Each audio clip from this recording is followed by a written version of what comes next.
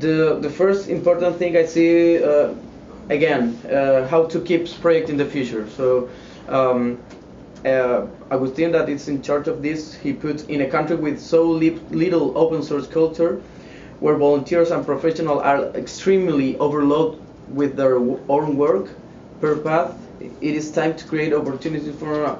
So that's the problem of uh, they all overwhelm this the current work. So mm-hmm. it's very difficult to keep the, the, these people in the long term working. So maybe it's easier to do one crisis camp every Saturday. Uh, to get them working, but also you will get two or three people on every crisis camp if you do it uh, so um, um, frequently. Frequently, yeah. Um, Okay, so clearly NGOs weren't notified that all the resulting work will be open source. Uh, that was an issue the next week. Uh, that's because uh, uh one NGO take two projects and finally uh, for them the crisis camp works as a as an initial project. Uh, so they take the project and work with a with a private company to complete the development of the project. Do, do you understand that?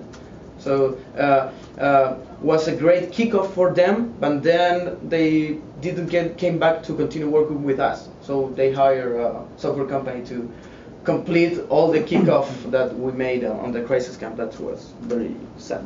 Um, so the project was originally open source, created within the camp, and then the NGO took it away and developed it further and didn't provide. We didn't communicate that, so it's uh, it's a fault. Again, we didn't. We do all open source, but we get to the crisis camp and it's all crazy, and you don't stop a time to tell the people that that, that stuff. So although that, it seems like there's an impression that you could do that. That was fine. You could we'll take it as far as you need to, and then you take it wherever you want after. That was yeah. That was a that was a global problem uh, no that because there was no because it, there was no license assigned to the. No, and then I start with the Bitbucket project that we have a Bitbucket that is like a GitHub. Uh, yeah, GitHub. Um, so I I put in every page MIT and GPL to uh, license. So. Uh, yeah. But but it's me. Uh, it, people didn't care, and even the yeah. developer don't care. There yeah. there were situations where where uh, people will come in and use us as their test market for their idea for their startup. Yeah. There, and Hunter knows that one. Oh, yeah. Um, there's stuff in UK where people oh. came in. So so we learned a lot about project management and protection of of what we are and what we're going to do and and what happens with that. Now I'm sorry, Pedro. Are you finished? Sorry. No, I have a couple more. I think it's important. Okay.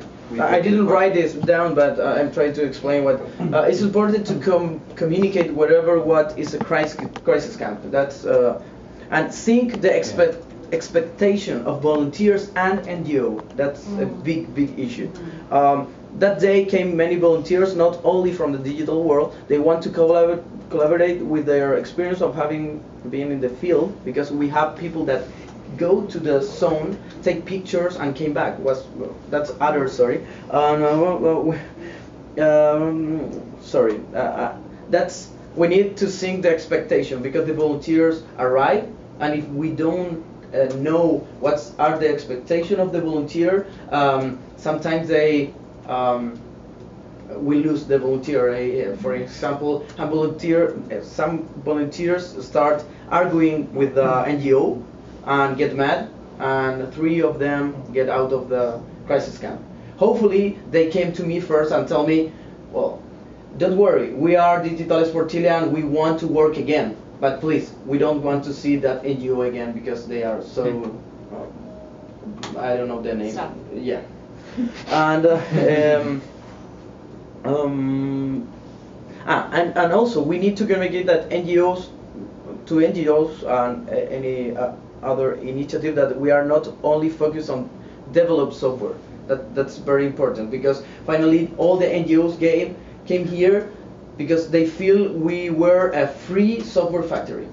So that's very mm. important. That's uh, and uh, also, we love something about the problem with the other NGO that take the software to do with a private company.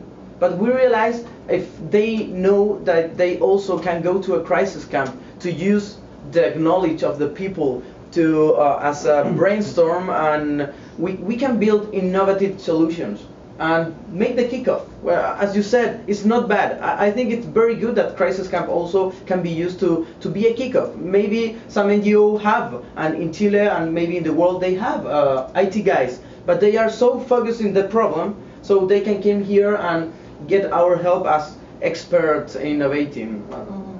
Research. Yeah. Yeah. Um, I think it's I think we Like need that. to, We got- we we've got- got to move on. So yeah, and you've the got, biggest issue five long term, long term, long term, long term, long term.